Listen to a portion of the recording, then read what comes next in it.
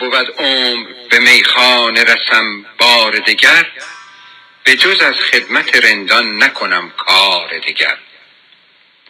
خرم آن روز که با دیده گریان بروم تا زنم آب در میکده یک بار دگر.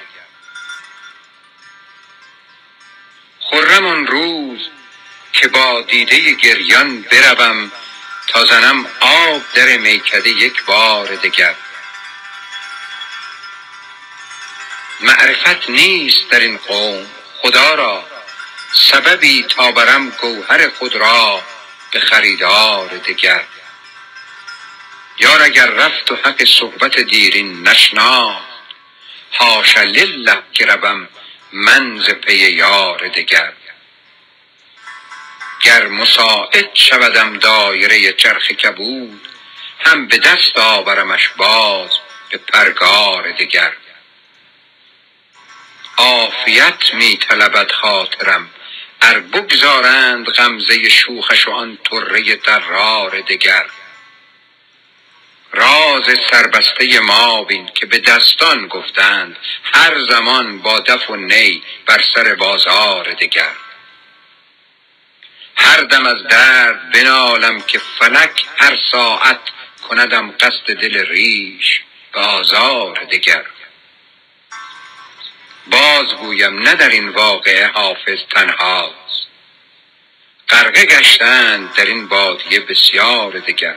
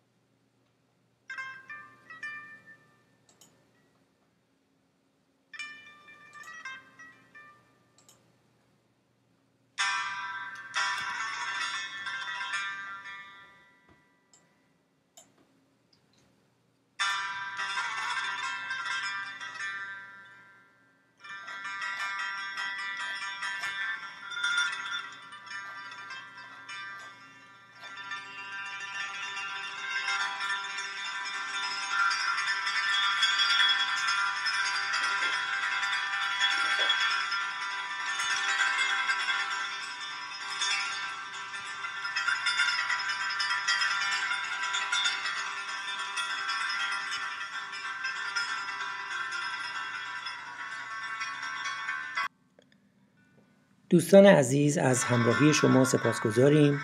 امیدواریم از شرح تفأل امروز لذت برده باشید و برای شما مفید واقع شده باشد.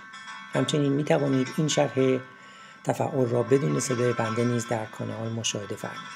لطفا کاستی های ما را به بزرگواری خودتان ببخشید و با subscribe نمودن کانال از ما پشتیبانی نمایید.